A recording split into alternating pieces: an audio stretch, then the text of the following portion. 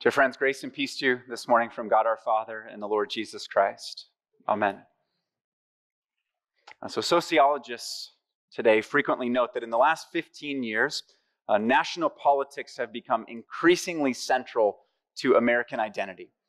Uh, they have also boldly asserted that the sky is blue. Well, they're like, well, duh, right? We're make a big deal out of politics. Uh, but no, what they mean is this feeling that I think a lot of us have already uh, that pretty much everything now gets politicized is actually a sociological fact.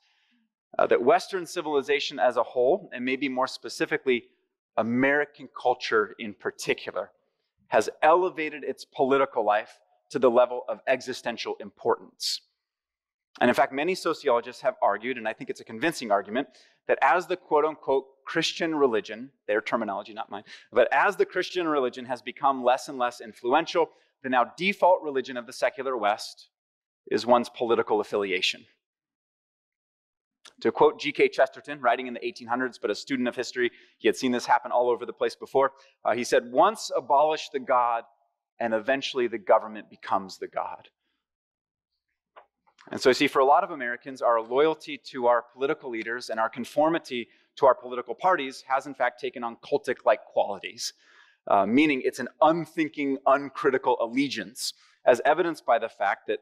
Uh, by the fact that Republicans and Democrats alike seem utterly unable to see, or maybe just completely unwilling to acknowledge, the all too obvious flaws of their current presidential candidates. It's like watching the emperor's new clothes in real time. Like, our candidate is great. I'm like, is anyone else seeing what I'm seeing right now? Like, uh, but no, you're not allowed to say anything, at least not to the people who prefer the candidate. Uh, by the way, it's one of my like side goals this morning to offend both sides of the political aisle. So just hang with me, okay? There's a reason for that. Uh, but no, the good news is, of course, you and I in this room, Christians at large in the country, we do not fall into that mistake of making too much of our politics. Alas, that is not true. You see, because what studies for the last decade have been showing is that even the majority of Christians, when surveyed, have outlooks and opinions that are much more formed by their political affiliation than they are by their faith. Or maybe more specifically, what the data shows is we agree with the parts of the Bible that support our political position, and it's like we don't even see the parts that do not support us. And so now, even the church landscape in America almost always gets interpreted through a political lens. Is this a conservative church or a liberal church? It's always fun when people show up on Easter. Is this a conservative church or a liberal church? Uh, which, for what it's worth, those are not theological terms. Those are political terms. The theological ones, which we ought to prefer, if only because they're reflective of biblical concepts, would be orthodox teaching versus heterodox teaching, or sound doctrine versus heresy. That's actually talked about in the Bible. These are the much more important categories, I would argue. And yet, we do not use those terms, not only because they're a little bit weird, which they are, I agree, uh, but also because we don't think in those categories. Now, we almost exclusively think now in political categories, Christian or non Christian. We all think in political categories. And so, again, everything has become politicized. The church is politicized. Our schools are politicized. The culture at large is politicized. Our artistic award shows, it's like politics on steroids. Even, uh, and so, on that front, shortly after World War II, Winston Churchill said something that is proving, I think, proving prophetic. And in particular, he said that the empires of the future would not be empires of just economic or military might, uh, but that they would be, quote, empires of the mind. And what he meant by that is they would subtly infiltrate the way that you thought, the way that you see, would color the way that you see pretty much everything, conservative or liberal, right? Uh, that they would operate not as a tyrannical force from outside of you, but as an equally, if not even more tyrannical force from inside of you. That they would be, therefore, even more difficult to resist and be free from, if only because they would be more difficult for us to identify and see, is what an empire of the mind is. And the modern West is, in fact, an empire of the mind. Quietly coercing conformity to a culture that is, yes, good in many ways. Don't mishear me on this front. And I mean that truly. There's a lot of good in modern American culture. Uh, I would personally prefer this particular empire to that of Nazi Germany. or North Korea, or even the Roman Empire of antiquity. We'll get to that a little bit later. Uh, nevertheless, like every empire in the history of man, no matter how good, it is not God. Maybe the better way to put it, it is not the kingdom of God. And people of Christ, you and I, we have this dual citizenship in this life. Uh, the empires of the world on the one hand, and the kingdom of God on the other. We belong to both of these things. Uh, and the concern that we ought to have with this data that is coming out is that we have become so shaped by the former, the empires of men, that we no longer properly live as the latter, citizens of the kingdom. And so, why am I talking about this? If we go to our passage, it's Palm Sunday. It's great to talk about politics on Palm Sunday. That was the advice I got from someone. Um, no, it's Palm Sunday. It's the day on which Christ rode into Jerusalem on the foal of a donkey. And the thing about this event, what scholars have noted, is that this act of riding into Jerusalem was meant to convey something very specific. And in particular, they say it was an act of subverting the empire. Uh, what they mean by that is back in the days of Jesus, a new ruler riding into a city was actually a relatively common event. This was not unknown to people. And in particular, the empire back then was Rome. And if the Roman Empire conquered your city, what would happen is they would send in a new ruler. This new ruler would get up on a horse, he would ride into the city, all of it to much fanfare. Does this look familiar? Uh, this was going to be their new king. And you see, by the end of the week, this new kingdom would issue a proclamation to their new territory. And that proclamation was literally called, quote, the Gospel of Caesar Augustus, was the real name of it. So notice the parallels with what Jesus does, almost exactly parallel to today's passage. Jesus rides into the city, all of it to much fanfare. He's their new king, right? Uh, at the end of the week, there is a gospel that gets issued out, not just to a new territory, but to the whole world, is what he's claiming. And so it's the same kind of thing in a lot of ways. And yet, notice, if you pay close attention to the details of what Christ did, whereas on the one hand, it looks like he's just following a common trope for that day and age, on the other hand, with a few subtle changes, he's completely turning it on its head. It's a subversive act. A donkey instead of a war horse, that's saying something about his kingdom a cross instead of a throne. That's also saying something about his kingdom. A gospel that gives you something instead of just demanding things. It's a very different kind of kingdom. And so, what Christ is doing in that is he's subverting the empires of man, not just Rome, but for all time. And he's establishing instead the kingdom of God. And so, what I want to do for the rest of this is I want to look at some of those details, like some of those differences, that is, in terms of what Christ did, each of which, each little difference, I think conveys something about the nature of his kingdom. And therefore, how to be kind of a participant in it, right? Uh, and it's three things. I'm just going to name them and then we'll jump into them. But it's first, the kingdom of God is marked not by hubris, but humility. Someone after the first service said, What's hubris? Um, H U B R I S, kind of like pride and pomp. It's marked by hubris, not by hubris, but by humility. Second, it comes to us not through force, but through faith. Third, its reign is not just temporary, but eternal. So let's start with the first thing. It's a kingdom that's marked not by hubris, but humility. So John, uh, John Piper is a Baptist pastor. He's very well known in evangelical circles. I don't know if you've heard of him before. Uh, he's known because he's a very good preacher. Uh, he also has a long-standing friendship with John MacArthur of Masters College and also Grace Community Church. Uh, but back in October of 2019, October 2019, what was coming just a month later? So just like a couple weeks before the presidential election, uh, John Piper had the audacity to write an article critiquing the political climate of our country. Uh, not any candidate per se, and I think if you know John Piper, he would levy his critique at both sides of the political aisle. And in particular, what he was critiquing, or what he was arguing, is he was hearing a lot of Christians say that when you vote, you just got to vote on the basis of someone's policies. I feel like I say that. You vote, you just vote on the basis of policies, meaning it doesn't really matter who the person is, just vote policy. Uh, what kind of character flaws they have, don't worry about it. It's just, are their policies good? That's the only question you should ask. The thing is, Piper did not downplay the importance of policy. That stuff really does matter. But what he argued is that it's not just policy that influences the direction of a, uh, of a nation, but also people or persons. And what he meant by that is he thinks that the character flaws of our leaders, and actually not just character flaws, but flat out sins of our political leaders, ought to concern Christians much more than they do. And so here's a quote from Piper, so you can get kind of the gist of the article. He says, I think it is a drastic mistake to think that the deadly influences of a leader come only through his policies and not, not also through his person.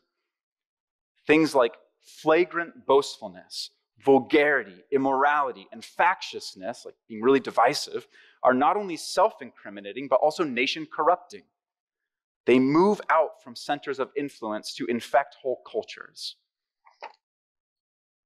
And the thing about this idea, this is not just John Piper, it's scattered all over the Old Testament, not to mention human history.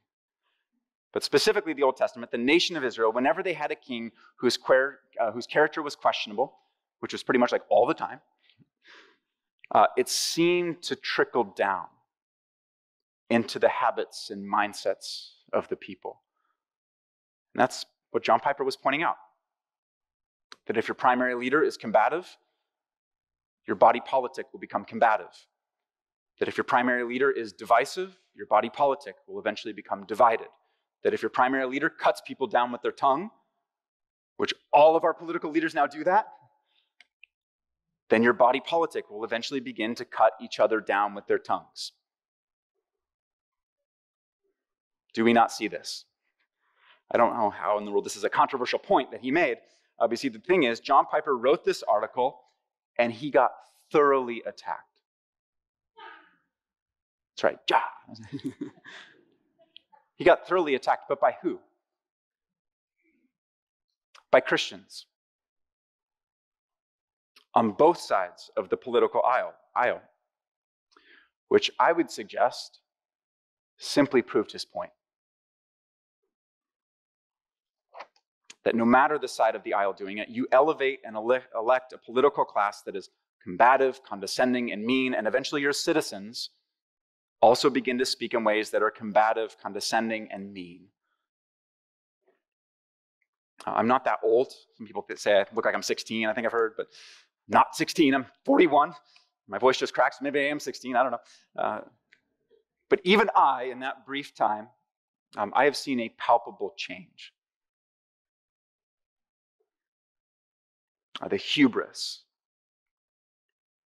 that unfortunately many, many Christians have begun to fall into. Which kingdom are we really part of? So, in our passage, we go to that. Christ rides into Jerusalem. And the thing is, whenever a new ruler would do this, uh, maybe picked up on this detail earlier, Pastor Matt shared it in the children's message as well, but they would always ride in on a horse. Uh, not just any kind of horse, any, any kind of horse, but always like the biggest and baddest horse you could find. It was always a war horse that they would ride in on. The thing is, it was meant to intimidate people. It was meant to be, you could say, very combative and condescending as a move. It was meant to kind of put people in their place. And yet, you go to the passage, what does Christ do? I would suggest he totally makes fun of that.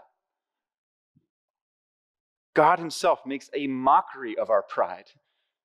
How so? Instead of a big bad warhorse, he just gets on the foal of a donkey.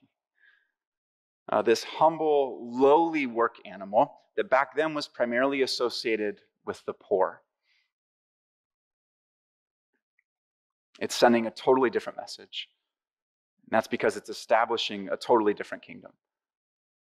Instead of creating a culture that is combative, condescending, and mean, Christ came to create a genuine counterculture that is humble and lowly and meek.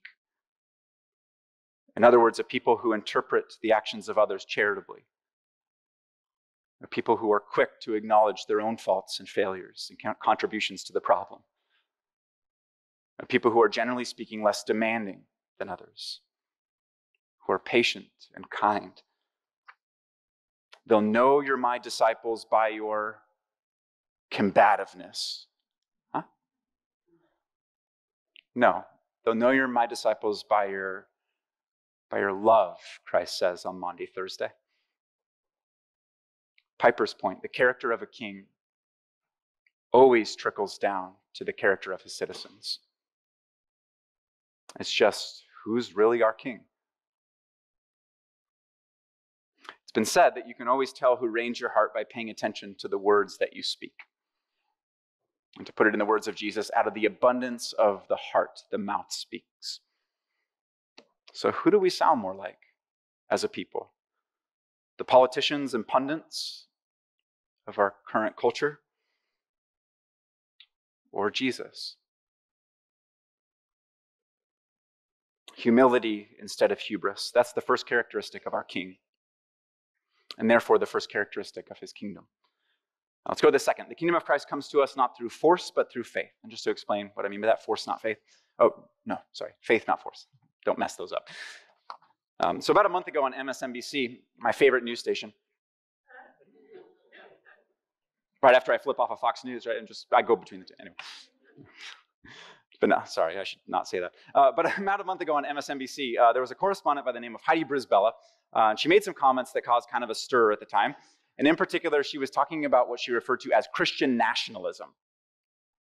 Now, if you're not familiar with the term, Christian nationalism is just one of the many phrases that gets translated actually more accurately as can of worms.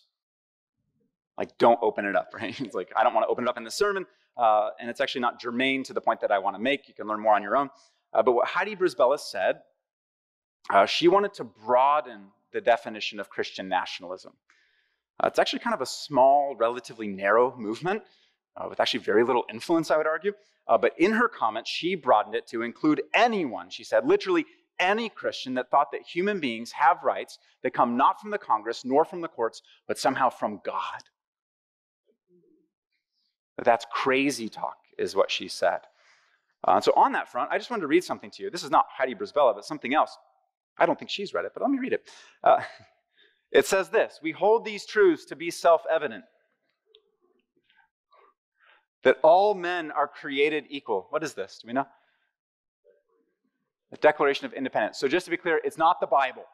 Like, it's not the Bible. It's not the inspired word of God. It's not perfect.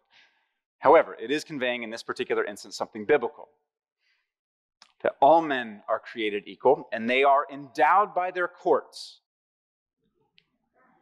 Nope, that's not it. No, they're endowed by their Congress. It's not it either. No, they're endowed by their Creator with certain unalienable rights. Among them are life, liberty, and the pursuit of happiness. That's where things get a little wonky, and like the modern, the seedbeds of modern hedonism are firmly planted in the ground. And look at where we are now. Great. Um, anyway, not the Bible. And so, according to some, this is in fact Christian nationalism now. And the way this new correspondent explained it is she thought everyone should be very concerned and maybe even perhaps a little bit scared of these people, of you, that is. Why is that? And listen to her speak. Uh, it's because they think, you think, you answer to some sort of higher authority than the US government. So I just thought I'd put it out there. Is that true? Uh, absolutely, it is. It's just here's the thing not in the way that she thinks. Truly, not in the way that she thinks nor in the way, I would add, that even many Christians think. Uh, so if you read Martin Luther, he has this particular concept that I think is really helpful on this front. And it's not his concept, he's pulling it from the New Testament as a whole, and maybe more specifically, he's deriving it from the book of Romans in particular. Uh, but what it is, he'll make this distinction between what he calls the two kingdoms. Uh, what he means by that is in this world, there's two types of kingdoms that God has dominion over. Uh, so God has dominion over both. It's not like one is his and the other one's the devil's. That's not what it is. Um, God has dominion over both kingdoms, uh, but one of them is what's typically called the kingdom of the world. And what that is, that's a kingdom that's concerned primarily with human behavior. And so that means it's an external thing. It's visible to the human eye. You can see how people behave. Uh, every human being alive in this world is part of this particular kingdom. You see, the way that God reigns over it, over external behavior, that is, is by what Martin Luther referred to as law. That's what he called it, law. what he meant by that is things like governmental laws, political processes, and human regulations. All of that would constitute law. And so when it comes to our own nation, the United States in particular, the way these things come about in our country is pretty much every adult citizen can participate in the process. And the thing is, every single one of us, I want to be clear on this, every single one of us, Christian and not Christian, voices and votes their convictions. This is not unique to Christians. Literally everyone voices and votes their convictions.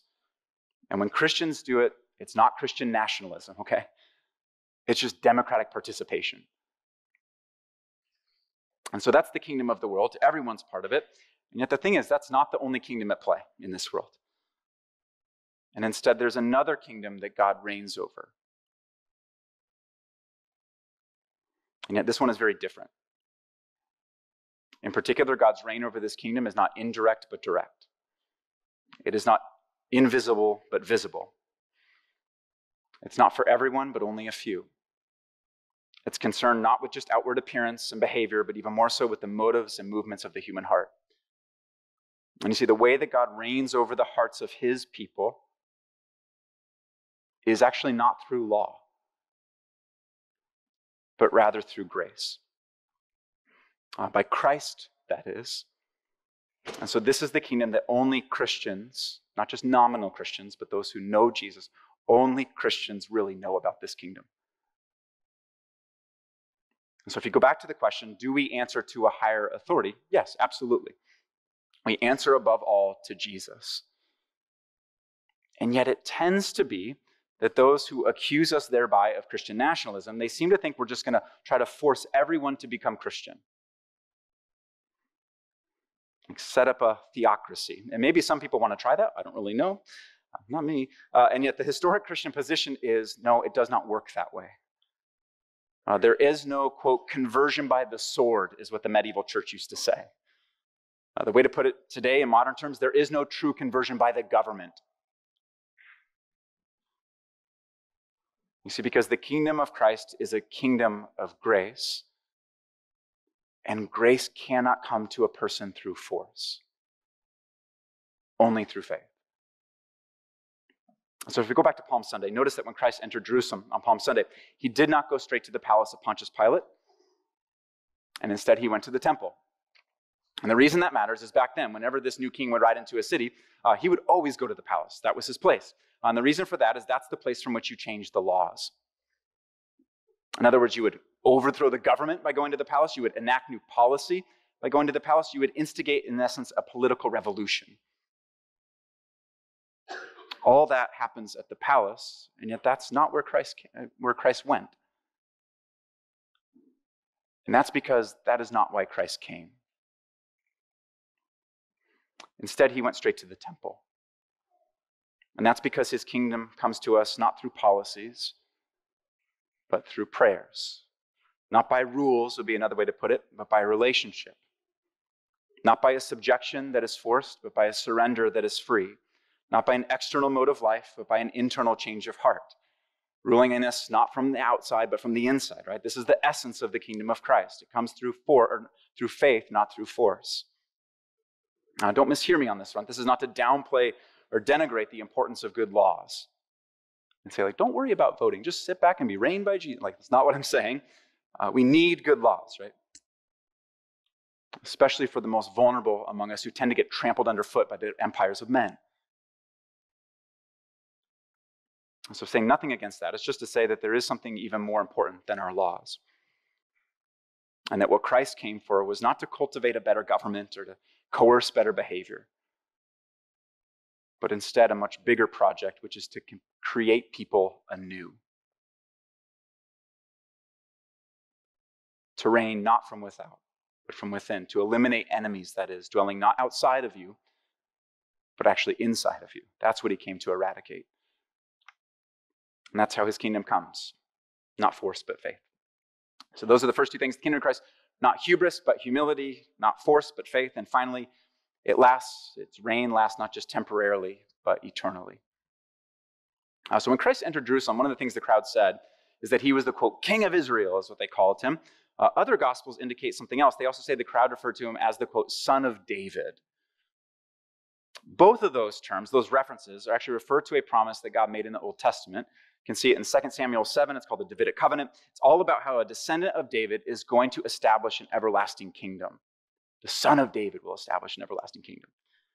And so you see what the crowd was saying back then this is the Son of David. What they were saying, and it's notable, a crowd of maybe 100 people. Not a big movement. Seemed like it wasn't really going to last, especially how that week went. And yet they were saying, This Jesus Christ will be a king forever. Did they get it right? So, a lot of modern historians hold that thought. Yes, but let's just hold that thought. Uh, a lot of modern historians have begun to note a number of parallels between the decline of the Roman Empire in the third and fourth centuries and what seems to be the current cultural decline of the United States. Uh, there's a lot of similarities. I try to bring them up at home. My wife loves it. It's her favorite topic of conversation. Uh, the decline of America. This is great for 11 p.m. conversation. Anyway, uh, I'm not making any doomsday prognostications, nor am I offering any prophecies about the future of Christians within the United States. Um, however, I do think it's worth knowing that in the Roman Empire, Christians had a very mixed experience. Uh, there's all sorts of writings about them by Christians and also by non Christians. Um, what non Christians say is on the one hand, these Christians are some of the best citizens you could have. They follow pretty much all the laws. They provide refuge for the weak and the weary. They're never really rabble rousers, but they're actually like respectful, good citizens. They were gentle, people said, and they were kind, and they were pure in heart. It was very weird to everyone. And so, on the one hand, you'd think that people would like these Christians. Here's the thing about it they hated them. The world hated them. The Roman Empire, in particular, took aim at them, saw them as a threat. You look at the persecution of the church under the Roman Empire, it's atrocious. They literally fed them to the lions in the Roman Colosseum for the amusement of the ruling class. And the question is, why did they do that? If they're not bad citizens, right? And here's why it's because they refuse to worship the gods of their host culture, is what the Romans actually write, if you want to look at it. They refuse to worship the gods of their host culture. If you don't think our host culture has its own set of gods, I've got news for you. Both sides of the political aisle, right? Uh, but no, early Christians, they refused. They were different. They saw themselves as belonging to a different kingdom and therefore adhering to the reign of a different king uh, which sounds great in theory in a lot of ways, right? Uh, and yet, one thing about the early Christian movement that's easy to forget is it was incredibly small. I think it's a little bit easier now because it's relatively large, but it was very small back then. It was emphatically dwarfed in size and also in influence by the Roman Empire. Back then, Rome was pretty much like the bomb.com of empires. I went to high school in 2001. I thought I'd sneak that in there for or just to wake you up a little bit and make sure. Uh, that was a cool saying back then. But anyway, sorry. Uh, but no, everyone just kind of assumed that Rome was it, right? It was it. This was the height of human culture and civilization. And that if you got in the way of Rome, to borrow one of our current catchphrases, you were going to end up on the wrong side of history.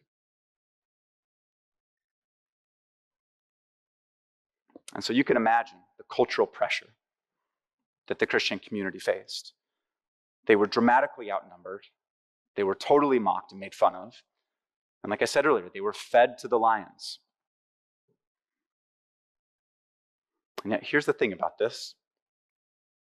Uh, so I studied abroad in college. So they, they were stamping out the Christian movement, right? So I studied abroad in college. I use the word study very loosely in that sentence, like Uh, but what I remember the most is we were studying in London. We did a lot of traveling all over Europe. We'd get like three to four day weekends. At one point, I think we spent, I think it was three days in the city of Rome. People call it like the Eternal City is the nickname for Rome. And you see, one of the things we did is we went to the Roman Colosseum when we were out there. And this force of an empire, right, that used to just mock Christianity, used to see Christians as impediments to national progress, used to assume that their movement would just die out as their empire marched on in glory. And yet, 2,000 years later, I, as a Christian, paid a cool $10 to walk through the ruins of their empire. And my question is whose kingdom really lasted? Theirs or that of Jesus? And the reason that matters is that leads to another question. Whose kingdom really lasted? That leads to another question. Which movement really matters or ought to matter to us? Which culture ought we to take our cues from? Whose opinion should we be concerned about? The world's or Jesus's? Jesus is Lord was the earliest Christian proclamation that went out. That was the gospel. And the subtext of it was not Caesar. Jesus is Lord, not the president, which is obviously like very clear to us, right? Um, Jesus is Lord, not the Congress or the courts or the cultural powers or progress that be, insofar as none of them are, insofar as they're not rooted in the kingship of Christ. Some of them might be, some of them are not. Uh, but if they're not rooted in the kingship of Christ, they are all but passing fads. That someday, in the future, people will look back and tour the ruins of as the kingdom of Christ continues to march on, claiming the hearts and minds of all who have ears to hear. Not to be misheard. Um, the last thing I'm trying to do right now is to encourage among us an exaggerated martyr complex. It's not very fun. I think Christians in America in particular, we have a tendency to do this as if it's like we're one election away from being fed to the lions. No, we're not actually. Um, and more to the point, I think the world has no need for Christians to be just one more group of victims who pity themselves. Right? A real martyr is not a victim, but a witness. So, all that I'm hoping for on this Palm Sunday is that our witness would not be compromised by the empires of man, but that we gently but firmly stand our ground under the lordship of Jesus Christ in the only truly eternal city, which is not Rome or America, but the kingdom of God. It's marked by humility, not hubris. It comes through faith, not force. And it might look like it's shrinking, but it will go on forever, not just temporarily. Let's pray. Uh, Father, we thank you for the gift of Jesus Christ who came to be our King, to establish a very different kind of kingdom uh, in this world that we think your kingdom is turned upside down. In reality, it's ours. And so uh, we pray that you would flip your people around. Uh, give us a different set of values, a set of kingdom values, uh, and help us to lean and live into the call of Jesus Christ this week and also in the life we have ahead of us. We pray this in Jesus' name, and all God's people said, Amen.